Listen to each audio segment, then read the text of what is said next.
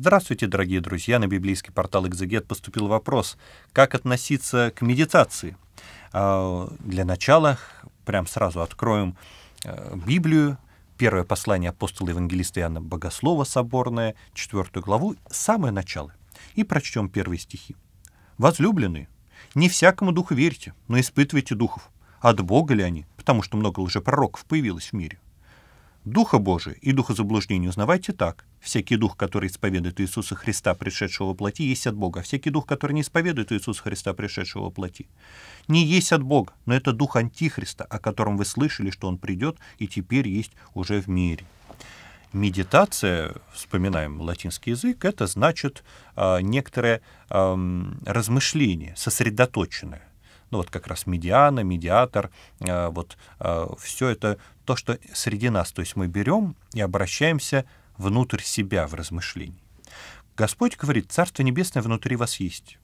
Если мы обращаемся внутрь себя и там созерцаем Бога молитвенно, это как раз э, ну, христианская медитация получается. Причем в русском языке как-то она уже слово медитация, увы, эзотерики захватили, и мы этот термин без боя отдали.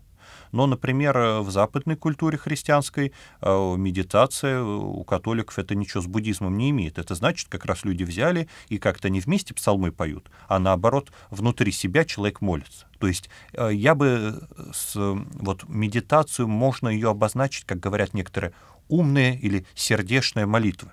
То есть та молитва, которая внутри нас сосредоточенно идешь. Когда ты не воспеваешь Господа в храме, не когда ты там стоишь там перед иконами, молишься, а когда вот э, ты либо даже присел отдохнуть на лавочку посреди парка, или э, дома там на диване, или даже на ходу в дороге в метро внутрь своего сердца заглядываешь, и там э, э берешь и с Господом беседуешь либо чуть-чуть отодвинув свой ум и э, просто в какое-то сердечном погружении, либо наоборот, размышляя, да, о каком-то богословском моменте, разбираясь в библейских стихах, это тоже будет некоторое молитвенное и евангельское общение с Богом. Будет э, христианская медитация. Ну, так, если условно говорить, увы, этот термин э, можно истолковать, наоборот, в эзотерическом смысле.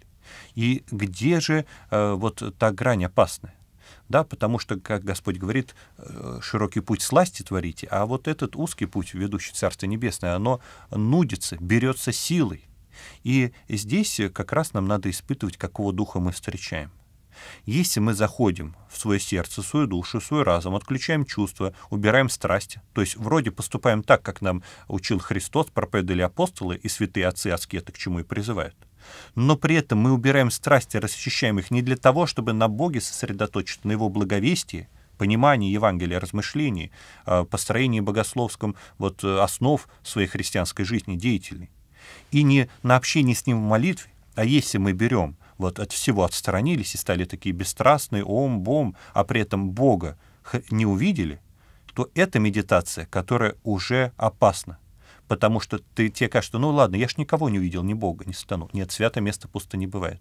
Если ты в медитации не устремился к Богу, в своем внутреннем таком средостении, размышлении, а, во внутреннем а, каком-то осмыслении своей связи с духовным миром, то на место Бога придет тот, кто не ждет нашего свободного выбора. Бог ждет, Он нам свободу хранит. А придет захватчик, да, тот э, вор э, тать прилази инуди, да, вор, который перелезает, вот как в евангельской э, притче сатана тоже представлен.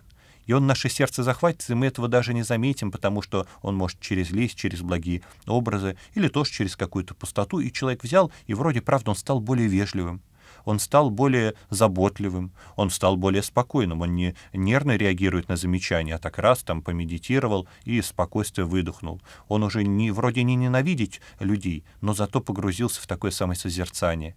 Или там это ненависть сердца просто копошится, но ее гордость, что такое я спокойный, такой помедитировавший, подавляет. А Бога в этом нет.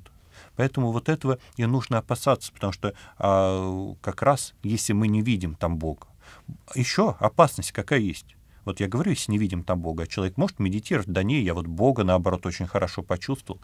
А какого ты Бога отвлеченного и привет Вселенной почувствовал? Или Бога Иисуса Христа, пришедшего во плоти? Тут несколько раз Иоанн Богослов подчеркивает пришедшего во плоти. То есть, э, потому что медитация эзотерическая, она старается христианина, да и любого человека, просто вот правда отрешись от земного, да, отрешись вроде от суеты. А наоборот, Христос говорит, нет, ты даже находясь в суете, находясь в мире, в взаимодействии, на работе, в учебе, в общении, и стремясь при этом душой к высшему миру, ты об этом мире не забываешь, точно так же, как Господь не забыл о мире, а в него воплотился. И здесь твоя духовная жизнь протекает не в отвлечении от всего происходящего, не когда ты зарываешь, как страус, голову в песок, а когда ты берешь этим а, молитвенным общением, словом евангельским, богословским размышлением, укрепляешь через общение с Богом и, не разрывая связи с Ним, поворачиваешь уже свой внутренний взор на ближнего и слушаешь его, заботишься о нем, совершенствуешься сам и приближаешься через это не к абсолюту, не к Вселенной, а к бессмертному Богу, который было время, пришел, воплотился и по-прежнему с нами телом и кровью в причастии пребывает. Внеси свой вклад, оцени, подпишись и поделись этим видео.